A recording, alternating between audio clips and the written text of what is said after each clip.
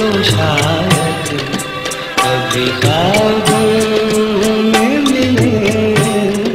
जिस तरह सूखे हुए फूल किताब चालीस साल तक दुनिया मौसीकी पर राज करने वाले शहनशाह गज़ल मेदी हसन को मदाहों से बिछड़े दस बरस बीत गए। तुम्हारा तुम पास के ये चमन तुम्हारा है। तुम हो आज मुल्क भर में इनकी बरसी अकीदत और एहतराम के साथ मनाई गई। छः साल की उम्र से सिखाना शुरू कर दिया था मेरे चचा इस्माइल खां और मेरे वालिद अजीम खान ने। और आठ साल की उम्र में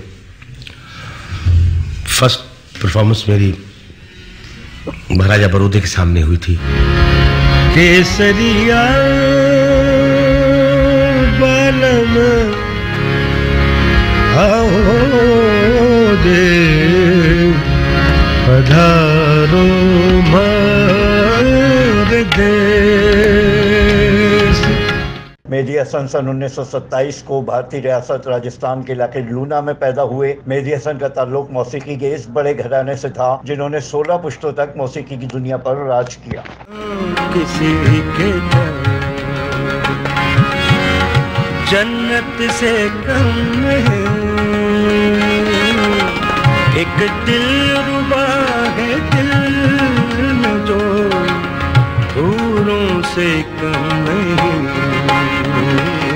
मेहदी हसन ने 1956 में रेडियो पाकिस्तान से गायकी का आगाज़ किया, जबकि 1962 में पाकिस्तानी फ़िल्म शिकार के लिए पहली मरतबा गीत रिकॉर्ड करवाया। मुझे तुम कभी भी भुला ना सकोगे। मुझे तुम नज़र से गिरा तो रहे हो। मुझे तुम कभी भी ना सकोगे। उन्होंने मजमू तौर पर तीन सौ पैंसठ फ़िल्मों में अपनी सहर अंगेज आवाज़ का जादू जगाया। फिल्मी सनत में इनकी आवाज़ कामयाबी की जमानत समझी जाती थी।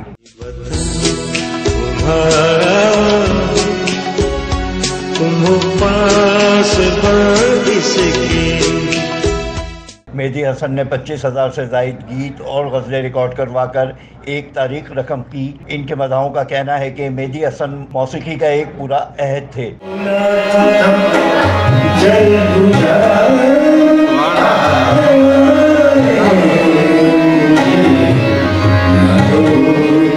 इनके राग और रागनी को दुनिया भर में शोहरत मिली। इसी वजह से मेहदी हसन को शहनशाह गज़ल के खिताब से नवाजा गया।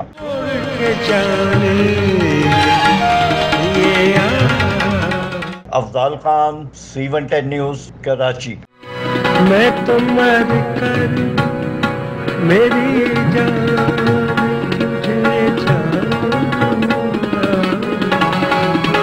ज़िंदगी प्यार किया करते सी वन टेन न्यूज़ खबर की असल खबर।